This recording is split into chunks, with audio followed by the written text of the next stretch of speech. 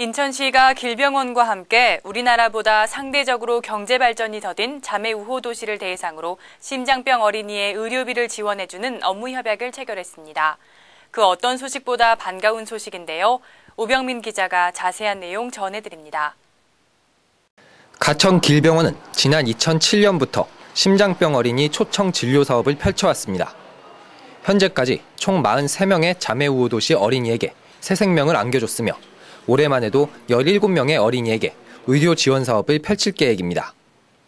이에 따라 인천시가 길병원과 업무 협약을 맺고 의료 지원 사업이 확대될 수 있도록 지원에 나섰습니다. 협약서에는 시가 출장 진료와 초청 비용 등 재반 비용에 대한 예산을 지원하고 길병원은 수술 비용에 대한 모든 비용을 부담하는 내용이 담겨 있습니다. 그로 인해 길병원은 기존보다 더 많은 아이들에게 새 생명을 안겨줄 수 있게 됐습니다. 아울러 시에서는 이번 기회를 통해 상대 도시와 우호 관계를 다짐과 동시에 2014 아시아 경기 대회의 성공적 개최를 위한 기반을 구축할 계획입니다. 현재 시와 자매 우호 관계를 맺고 있는 도시는 17개국 33개 도시이며 이중 경제적으로 어려운 곳에 대해서만 지원 사업이 펼쳐질 계획입니다. 민트TV 뉴스 오병민입니다.